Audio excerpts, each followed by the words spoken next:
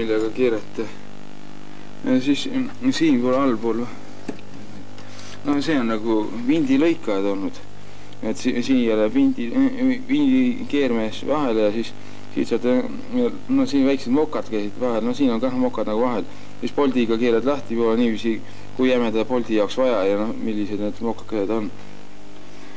noh, siis siin on teine samasugune no,. siis noh, siin on need noh siin ka puust käepidi on järel, aga see on ise lahti tulnud. et selle, seda on ka said ka mutrivõtmine kasutada või noh, pits kruvina või, et said niiviisi kokku pressida sellega.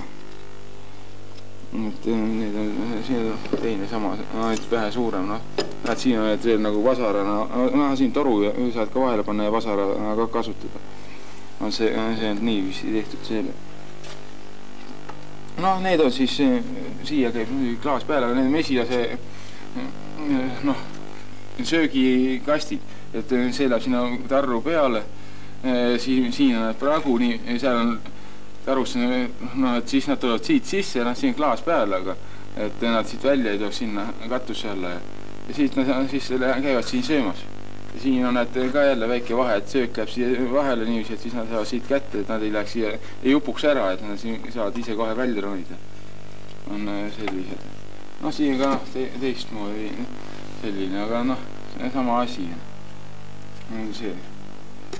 siis siin on näiteks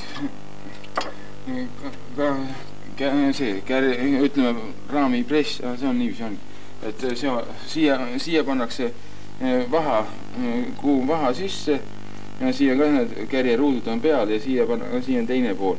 ja siin kõrvad on ära murdunud nii ja siis see, see pannakse niiviisi peale ja, ja siis oodatakse, kuna ära jahtub ja siis saad see kärje kätte. on selline see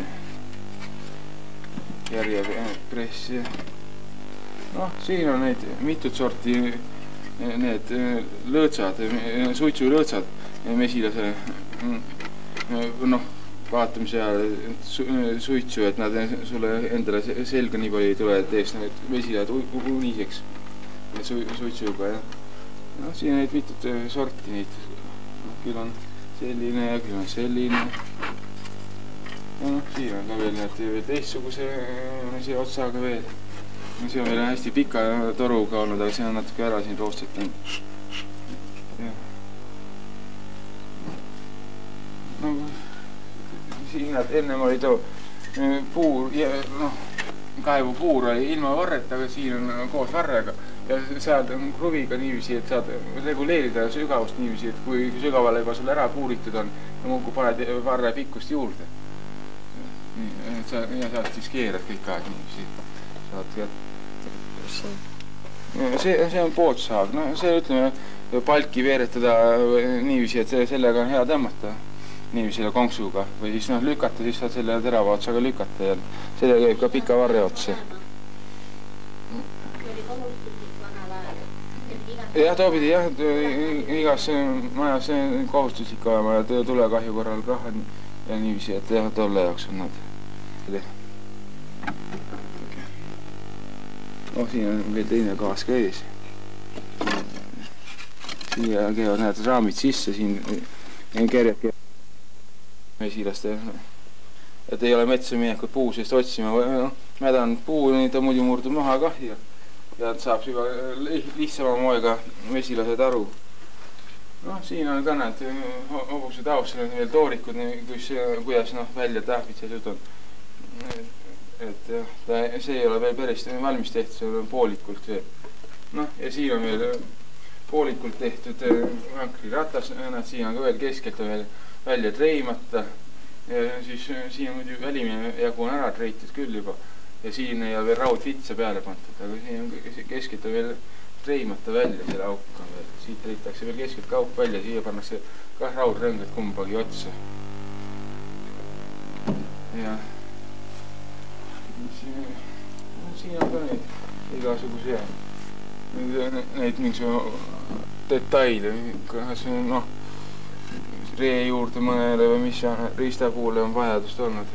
no see, see on siis olnud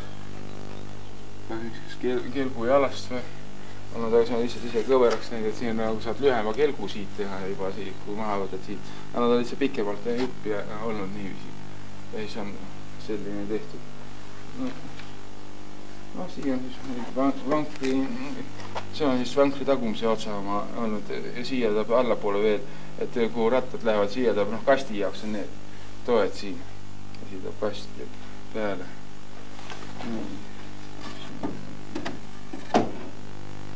Neid asju ma ei tea, kuhu need on siin, mis vajalikud asjad.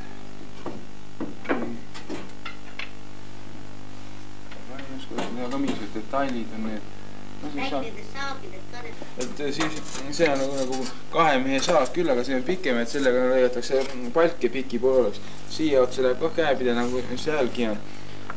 no käib ja sinna käib pulgad käivad kummalgi otsal, nad pulgad ka käivad läbi ja, ja siis on, pannakse palk kuhugi kõrgele ülesse, et üks tõmbab alt ja teine on siis seal ülevalpool niiviisi, niiviisi lõigatakse kõik ka, et lõigatakse nagu nüüd, nüüdsel ajal Äh, raamsaed niiviisi, et sellega lõigatakse samamoodi palki pooleks või noh, kas lauda või pooleks või noh, kuidas tarvidus on olnud.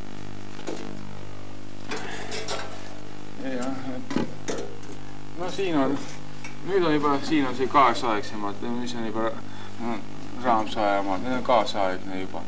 aga nad noh, aga põhimõte on täpselt sama olnud, mis vanaaegselgi jah, siin on mingisugune vanaaegne kohver, siit käib lahti.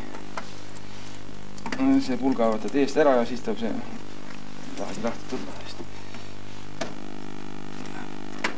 tuleb küll, ta ongi selline kohver. hea, hea lihtne ja kerge kaasas kanda. no siin on ka veel üks kahvli samuti kas on kirst väikene olnud veel? siin on hobuse vedruvanker, siin suurelt, aga siin on noh, muid asju ees ja siin on osa asju ka puudu.